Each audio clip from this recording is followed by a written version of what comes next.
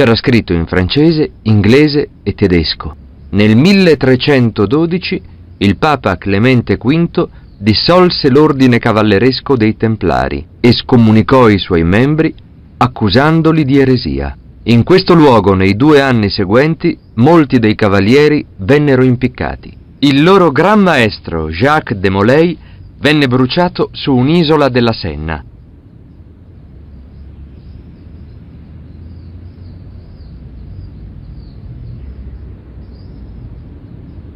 Ci rivediamo, poliziotto. Salve, monsieur. Ci vediamo. Oui, monsieur, sì, certamente.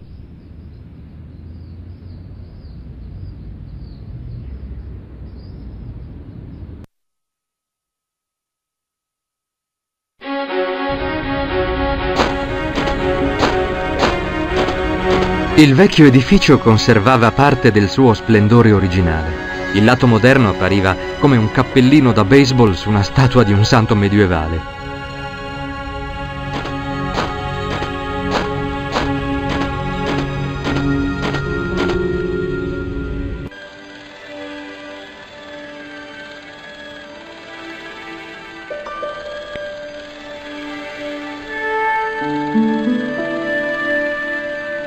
Scusa, Oui, monsieur. È questa la clinica Hagenmeier? Esatto. Pensavo di essere in un vivaio. Oh, le piante sono state una mia idea. Un po' di verde per richiamare lo spirito della natura. Cosa desideri? Sono venuto a trovare Jacques Marquet. Ah, sì. È un parente del paziente, monsieur? No, sto conducendo un'indagine privata. Allora non ti posso aiutare. Allora riuscirò a vedere Marquet prima del funerale? Con questo atteggiamento non otterrai niente. Le istruzioni che ho ricevuto sono molto chiare. Nessuno può vedere Marquet, a meno che lei non riesca a provare di essere un parente o un conoscente stretto. Sta perdendo il suo tempo. Ha ricevuto Marquet una visita da due delinquenti? Spero proprio di no. Me li puoi descrivere? Un uomo magro che assomiglia a una donnola e il suo amico, il gorilla.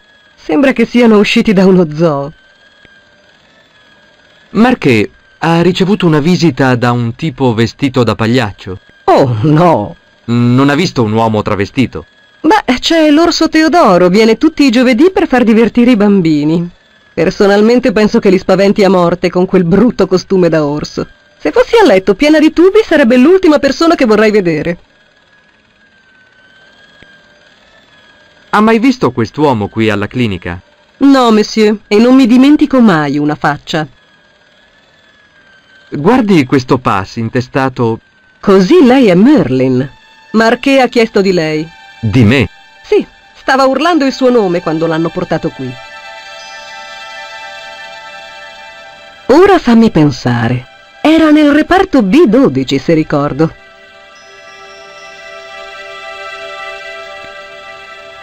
È stato trasferito al... Oh no, è al reparto J2. È quello... Il reparto dell'infermiera Grendel. Perché non le piace l'infermiera Grendel? Dirige quel reparto come se fosse una prigione del Sud America. Far rispettare l'ordine in un reparto non è un crimine, vero? Rispettare l'ordine? Con le sue manie per la disciplina e le punizioni ha strappato la sigaretta di bocca al Marquis de Sade. Sempre, proprio sempre la stessa prassi. 6 in punto, sveglia. 6 e 10, movimento intestinale, guai a chi non ottiene risultati. Alcuni dei suoi pazienti sono come i cani di Pavlov. Sembra che sia un vero incubo. Può esserne certo. Se l'infermiera Grendel è veramente così brutale, perché è tollerata dalle autorità? Fa parte dell'arredamento. Vuol dire che è qui da tanto tempo? No, voglio dire che non c'è uomo in questa clinica che non se la sia spassata con lei. Cominciavo a capire la situazione. Questa donna era gelosa, con la G maiuscola. Come faccio ad andare al reparto dell'infermiera Grendel? In fondo al corridoio sulla sinistra, poi giri a destra al bagno del primario, poi ancora a destra nella sala del caffè dei dirigenti. Tenendosi sulla sinistra, oltrepassi la sauna degli amministratori e alla fine giri a sinistra. Quello è J2 e buona fortuna. Grazie per il suo aiuto, madame. È stato un piacere.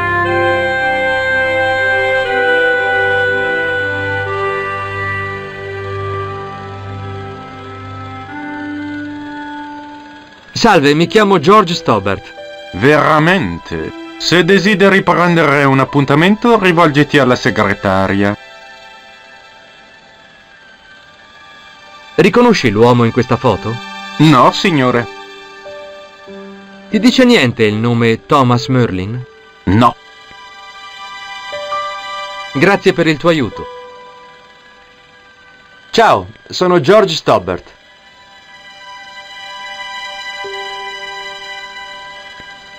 Piacere. Chiamami George se preferisci. Sei sicuro? Sì, è il mio nome. Mi chiamo Benoit, ma tutti mi chiamano Bunny. Bunny. Esatto, avevo questa simpatica abitudine quando ero piccolo. Tienitela per te, Benoit. Sai qualcosa di un paziente chiamato Marquet? No, signore, non so molto sui pazienti. Non ho mai conosciuto un dottore che abbia ammesso di non essere infallibile. Sto solo facendo il tirocinio, signore. Sono sicuro che diventerò all'altezza della situazione. Conosci l'infermiera del reparto J2? No, signore, è il primo giorno che sono qui. Non vedo l'ora di sporcarmi le mani. Naturalmente stavo parlando della cura del mio primo paziente. Non intendevo sporcarmi le mani con l'infermiera. Ci vediamo. Va bene?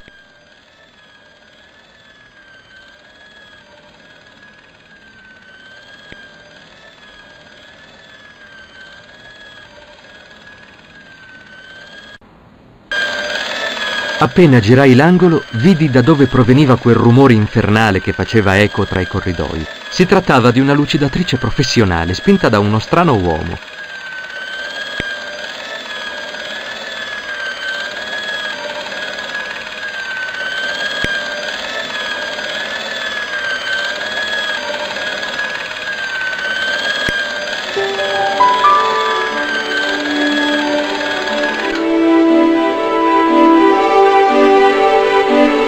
Appena staccai la spina dalla presa, la lucidatrice perse colpi, scoppiettò e poi si spense.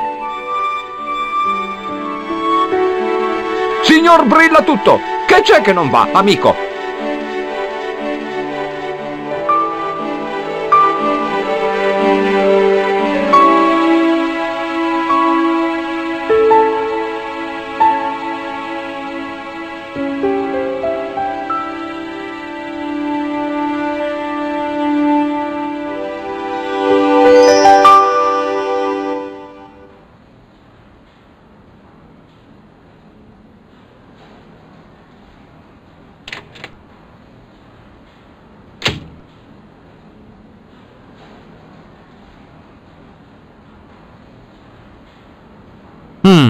Dottor Stobart, al suo servizio.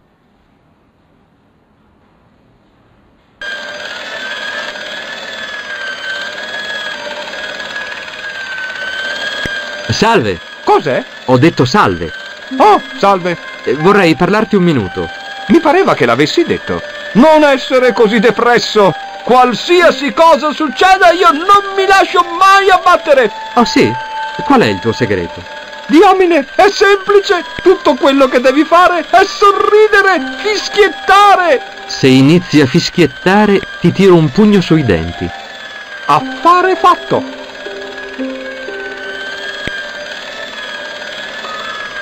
Niente, niente.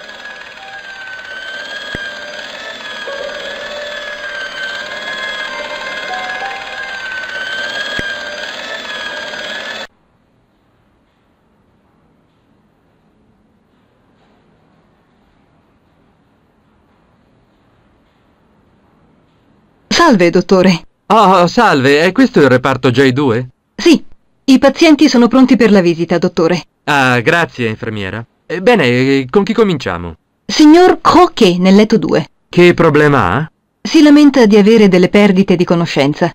Le servirà questo, dottor?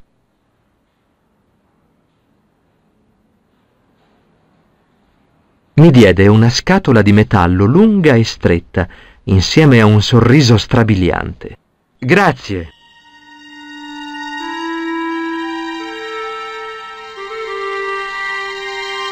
Salve, sono il dottor Stobbart. Salve, dottore. L'infermiera mi ha detto che continua a perdere conoscenza. È vero, mi ricordo di aver sempre avuto questo problema. È una vera esperienza fuori dal corpo, come la morte, ma non è una cosa così definitiva. Capisco. Quanto dura? Solo una frazione di secondo, poi mi riprendo. Anche senza essere un dottore, ero in grado di formulare una diagnosi. Questo ragazzo era pazzo. So esattamente cosa vuole dire. È conosciuto in campo medico come battere gli occhi. È serio? Certo che non è serio, è perfettamente naturale. Ma se pensa, due secondi ogni minuto sono quasi mezz'ora al giorno. Due settimane all'anno passate nel buio più totale. Non ho tempo di ascoltare queste sciocchezze. Conosce il nome di quest'utensile? No, In che letto è, Marché? è dietro l'angolo, in isolamento. Che cos'ha? Non lo so, ma gli uomini che l'hanno portato qui portavano maschere e guanti di gomma. Ehi, lei è un dottore. Com'è che non lo sa? E noi dottori non sappiamo tutto. Allora perché si comporta come se lo sapesse? Ha ricevuto nessuna visita, Marché? No, e neanch'io. Stando rinchiuso è la cosa che odio di più qui dentro. Ti senti abbandonato dal resto del mondo. Eh, sa com'è, la vita continua. Grazie per le sue parole di conforto. Bene, arrivederci e buona fortuna. Grazie, dottore.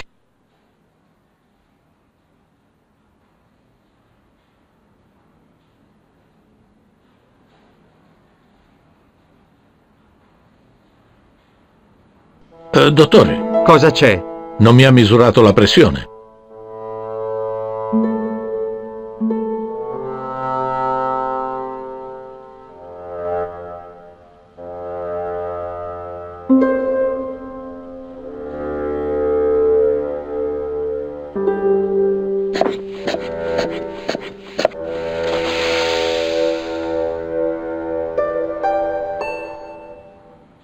Mi sembra che vada bene. Non lo sta facendo nel modo giusto. Certo che lo è. No, il dottor Monroe non ha mai fatto in questo modo. Non si riesce a leggere bene se continua a essere così agitato. Tornerò più tardi.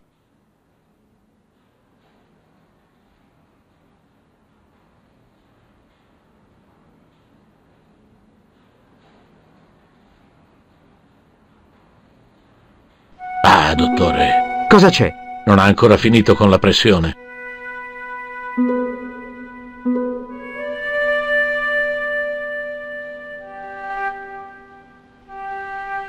Va bene, proviamo di nuovo.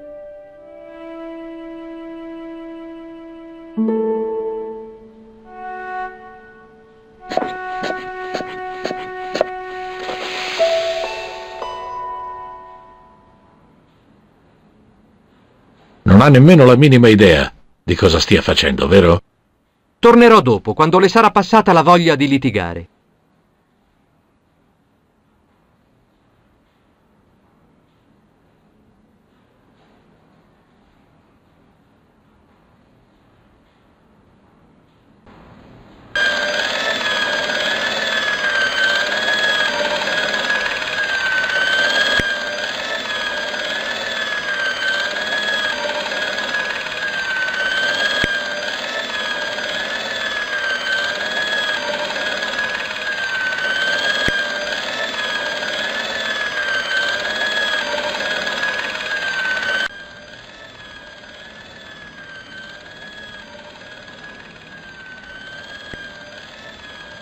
Ehi, Benoir!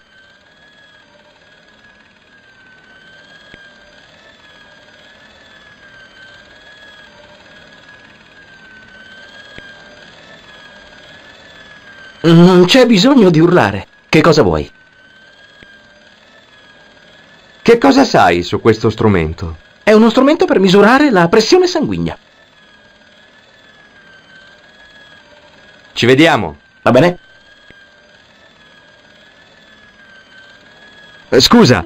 Tu devi essere il ragazzo nuovo. Eh, sì, dovrei essere io. Beh, allora smettila di andare in giro e renditi utile. Bunny, vieni qui, ragazzo. Questo è Benoir, mio nipote. Te l'affido. Vai a cercarti un altro bambinaio, nonno. Ma chi ti credi di essere? Sono Felix Hagenmeyer. Colgo l'occasione per dirti che è un onore incontrarti di persona. Sei uno dei medici che ammiro di più, insieme a Pasteur e Liri. Per me è un privilegio, no, un onore seguire tuo nipote. Si è appena laureato. Ti aprirà gli occhi vedere un vero medico al lavoro. Ci puoi scommettere. Fagli dare un'occhiata in giro. Fagli vedere qualcuno che soffre veramente. Arrivederci, Hagenmeier.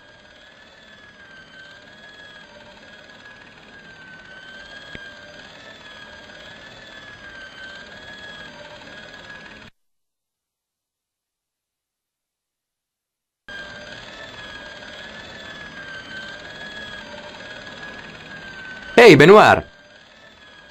Non c'è bisogno di urlare. Che cosa vuoi? Lascia perdere.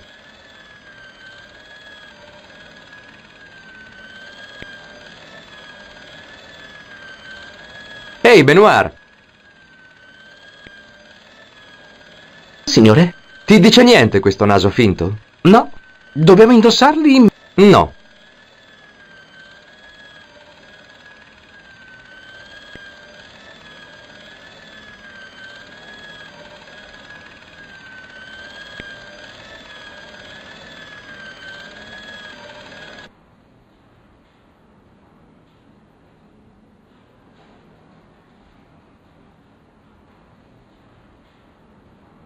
Potresti dare un'occhiata al cliente del letto numero 3?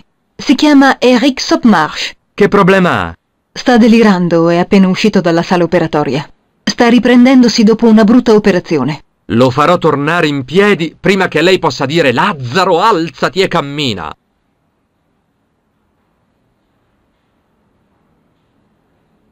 Salve, c'è nessuno in casa? Lei chi è? Sono il dottor Stobbart e sono qui per aiutarla lungo la difficile strada della guarigione. Il dottor Monroe ha detto che per il male che ho non esiste alcuna cura. Il suo problema è che passa troppo tempo a letto. È sicuro di essere un dottore qualificato? Farebbe meglio credermi. Cosa mi può dire a proposito di Marché? È l'uomo nella stanza privata, vero? Quella stanza era la mia, prima che venissi sbattuto fuori come un abusivo. Sa che cos'ha Marché? Non vogliono neanche dirmi che cosa ho io? Mi dica, dottore, lei cosa ne pensa? È... oh, ancora troppo presto per arrivare a delle conclusioni. Ma se sono qua ormai da tre mesi. A dopo. Ehi, Benoir!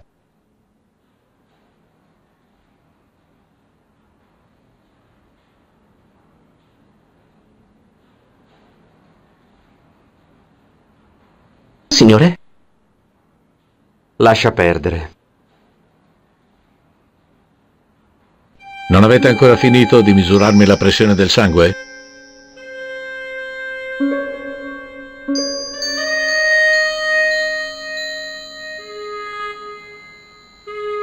Si vuole calmare, sta disturbando gli altri pazienti. Mi calmerò quando mi avrà misurato la pressione con le dovute maniere. Prima devo vedere Jacques Marquet.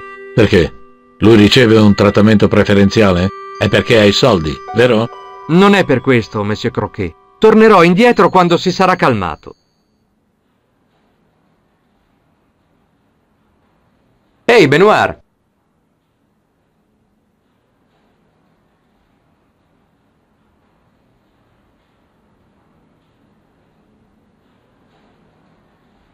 Signore? Prendi questo strumento per misurare la pressione. Grazie, signore. Che cosa vuoi che faccia con questo? Mm, Beh, tienilo al sicuro finché non mi viene in mente qualcosa. Ehi, Benoir! Signore?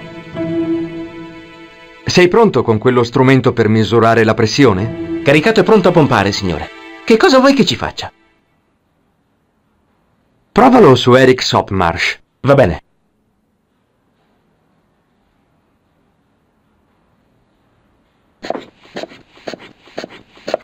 Sono il dottor Stobbart. Bonjour, docteur. Ha sentito di un uomo chiamato Marquet? È in quarantena, dottore. Proprio dietro questa porta. Marquet è proprio l'uomo che volevo vedere. Non ci andrei se fossi in lei. Ha l'antrace. Devo visitare il mio paziente. Per che cosa? Semplice routine. Devo controllare che sia ancora vivo. E se non fosse così? Firmerò il certificato e farò registrare il suo letto come libero. Questa è un'attitudine fredda e distaccata nei confronti della morte. Mi hanno insegnato a comportarmi in modo indifferente. Il camice bianco le dona proprio. Grazie. Ha visto nessun tipo sospetto nel reparto? Sì. Un gorilla e una donnola? No. Questo era un vecchio orso malandato. Perché l'orso si comportava in modo sospetto? Beh, indossava un cappello di feltro. Ed è contro la legge? No, ma è strano per un orso.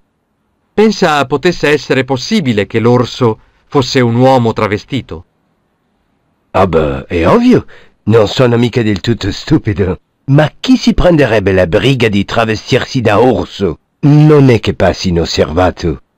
Ho controllato dall'inizio per accertarmi che nessun orso fosse scappato dallo zoo o da qualche circo. Mi hanno detto di star fermo fino all'arrivo dei rinforzi. Immagino che avessero ragione. Sarebbe stato da stupido affrontare un orso con una sola mano. Arrivederci. Au revoir, dottore. Se vede l'orso, lo prendo a calci sulla zucca. Meglio te che me, amico.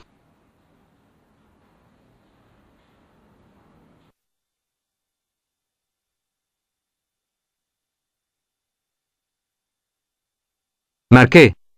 Sì, sono io, Marché. Sapevo che sarebbe arrivato. Veramente? Beh, che cosa sta aspettando? Facciamolo subito e non pensiamoci più.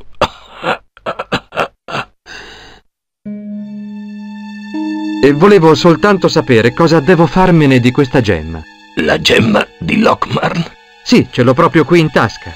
Pensavo che lei fosse uno degli Ashashin. No, non io. Non è mai stata una mia aspirazione. Così è stato mandato lei al mio posto. oh, sì. Sarebbe stato difficile affrontare un viaggio in Irlanda nelle sue condizioni. Cosa dovrei farmene della gemma? Spedirla al Gran Maestro alla svelta. Gli dica che ho trovato il trepiedi proprio qui, a Parigi. Veramente? Non ancora, ma se ne stanno occupando. Ho ingaggiato una coppia di scagnozzi con una predisposizione per i piccoli crimini. Sono Flap e Guido, per caso? Li conosce? Ci siamo incontrati. Perché quello grosso si chiama Flap? Che mi dice a proposito degli Ashashin? È più probabile che abbia seguito Klausner. Non si fermerà davanti a niente pur di impedire la riforgiatura della spada. E questo non va bene, vero? Come Klausner è partito per la Siria per una ricerca inutile. Perché? Lui ha una teoria a proposito del luogo del... Ah. Ci siamo già stancati troppo per oggi, Monsieur Marquet. E lei che cosa ci fa qui? Sto parlando col paziente, naturalmente. Monsieur Marquet è il mio paziente. Se lo sapesse Herr Hagenmeyer. Va bene, me ne vado. In ogni caso, avevo appreso tutto quello che potevo da Marquet.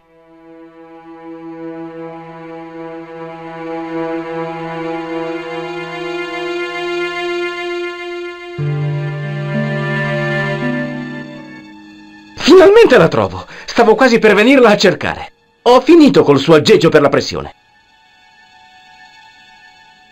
Grazie, Bunny. E cos'è stato questo rumore? Sembrava qualcuno in procinto di avere un arresto cardiaco. Va tutto bene, il dottore è là dentro con lui.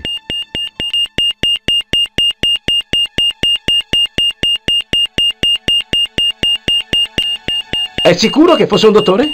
Oui, monsieur. Mi ha fatto vedere la sua carta d'identità. Era il dottor Bray. Non c'è nessun dottor Bray che lavora qui. È un impostore. La porta è chiusa a chiave. Mi aiuti, agente!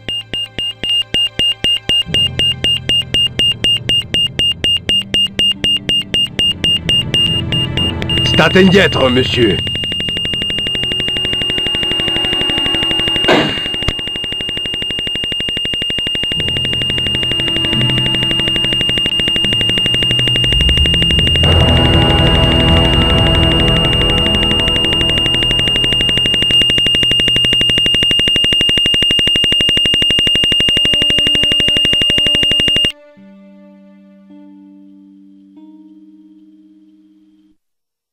Trovato Jacques Marquet. Ha parlato? Sì, ha parlato per l'ultima volta. È morto? Sì, è stato ucciso a sangue freddo da un tipo che si spacciava per un dottore. Che vergogna! Che razza di uomo si farebbe spacciare per un dottore e si approfitterebbe di un morente? È stato Khan? No, non so chi fosse, ma di sicuro non era Khan. È scappato, fuori dalla finestra! Hai mai sentito parlare degli Ashashin? No. Marché ha detto che erano i suoi peggiori nemici. Il suo peggior nemico era il tipo che si è fatto spacciare per un dottore. Non ricordarmelo. Quel tipo era proprio malvagio. I suoi occhi fissavano il vuoto come un pesce morto. Non mi fiderò mai più di un dottore. Pensi che l'assassino sia responsabile della morte di Marché? Non penso. Avrebbe potuto dargli il colpo di grazia la prima volta. Altrimenti Marchi lo avrebbe riconosciuto. Era pieno di sedativi. Non avrebbe riconosciuto i quattro cavalieri dell'Apocalisse, a meno che non si fossero presentati personalmente.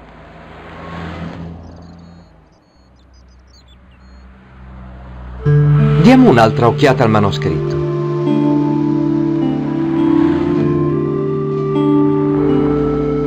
Quella è la gemma che Pigram ha trovato a Lochmarn.